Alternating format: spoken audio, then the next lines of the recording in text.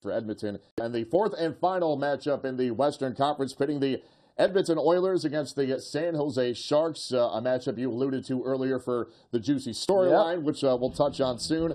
But the Oilers uh, back in the playoffs after far too long. The Sharks might be playing the worst of any of the 16 team field right now check out how this breaks down, and uh, it tilts a little bit in favor of Edmonton. Yeah, it tilts a little bit in favor of Edmonton. Forwards, I mean, when, when Connor McDavid's on one side and he's not on the other, I'm going to give the edge in forwards to whatever team Connor McDavid plays sure. for. I'd say the same thing about Sidney Crosby. Whatever he, wherever he is, that team gets the edge in forwards, okay?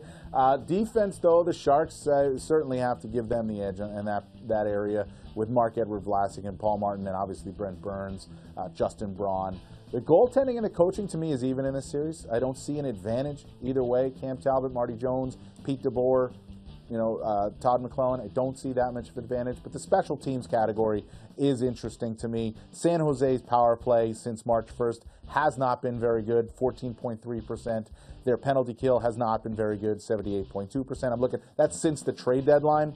Edmonton, on the other hand, on the since the trade deadline on March 1st, they're, they've been 27.1% on the power play and 85.4% on the penalty kill. That's a major advantage in special teams for the Edmonton Oilers, and, and that's a big difference in this series. And uh, you know, Dan, it's it's never this simple. It's never this black and white. But when you when you break it down and you look at Edmonton, you say young team, up and coming, fresh. You look at San Jose, not young. They look tired. They look sluggish, and that alone could be the decisive factor in this series. Yeah, look at the top two guys. I, again, you know, I like to break down in terms of a timeline. I don't want to look through the whole series, the whole season, because frankly, what happened in October, November, December doesn't really matter that much right now. But if you look again, since March 1st, since the trade deadline, Connor McDavid, 28 points in 18 games. Leon Draisaitl, 23 points in 18 games, and they're playing together. Those two guys are young, they're fresh, they're hungry, and they want it. I'm not saying the Sharks don't want it, but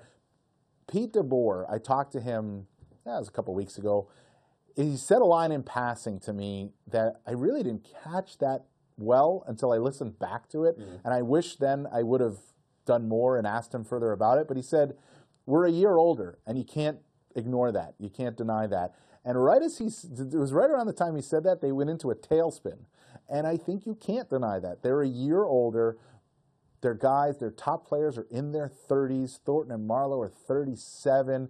You know, Paul Martin's 36. I think Joel Ward's 37. Vlasic just turned 30. Pavelski's in that 32, 33 range.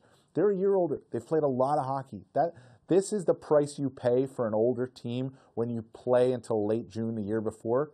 You get a little tired, and you also think about it. Brent Burns, also in his 30s, by the way. Joe Thornton, Joe Pavelski, these guys, they played in the World Cup of hockey too, so they played even more hockey.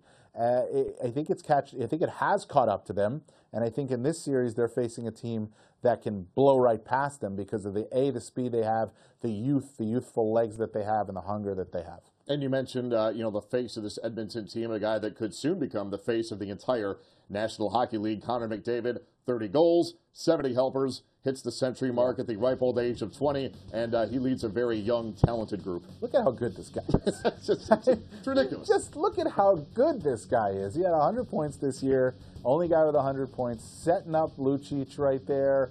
And there's Patrick Maroon right in front of the net as well. It doesn't really matter who plays with him. You put a big body to help him out. You got Draisaitl there to help him out. I mean, Lucic can score, Maroon can score. A lot of it gets helped out by Connor McDavid. It's it's their depth scoring is excellent, but 97 is just so good. He's just so much fun to watch.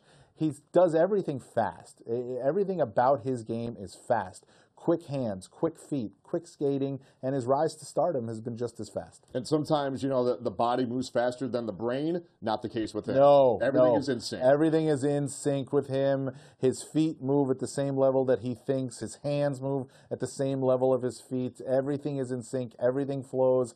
He's he's impossible to catch. Okay, number one, he's impossible to catch. He's another guy, like I was talking about with Tarasenko, who's got that ability to turn a series.